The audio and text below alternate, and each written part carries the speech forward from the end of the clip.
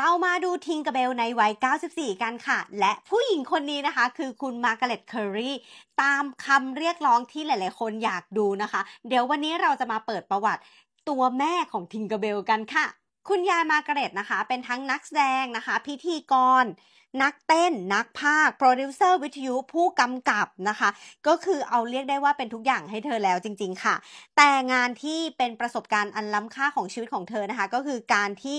ได้มาเป็นนักแสดงต้นแบบให้กับบททิงก r เบลค่ะ ซึ่งการ audition นะคะ คุณยายมาร์กาเร็ตก็เข้าตาเข้าใจกรรมการอย่างคุณมาร์คเดวิดส์ ตัวพ่อที่ทำงานเคียงบ่าเคียงไหล่กับคุณวอลดิสนีย์ถึงแม้ว่าคุณยายมาร์กาเร็ตเนี่ยเขาจะมากไปด้วยความสามารถแต่ใด ๆ ก็คือการทำงานกับดิสนีย์อย่างที่หลาย ๆ คนรู้กันนะคะว่ามันไม่ใช่เรื่องง่ายเลยนะคะ ในช่วงต้นของการทำเรื่องปีเตอร์แพนเนี่ยคือจะต้องใช้เวลานานถึง 6 เดือนเลยค่ะ คุณมาร์กาเร็ตบอกว่าฉากที่ยากสุดๆ แล้วก็ใช้เวลานานสุดๆนะคะ ก็คือ ตอนที่ต้องไปช่วยปีเตอร์แพนตามหาเงาของเขาค่ะ แล้วก็มีทั้งฉากการใช้กรรไกรนะคะ ฉากที่ทิงก r เบลเนี่ยถูกขังอยู่ในชั้นเก็บของ แล้วก็พยายามหาทางออกมาค่ะ ปัจจุบันนะคะ คุณยายเขาก็วัย 94 ปีแล้วก็คือเกษียณแล้วมีความสุข happy แล้วก็ได้ส่งต่อแรงบันดาลใจต่างๆนะคะ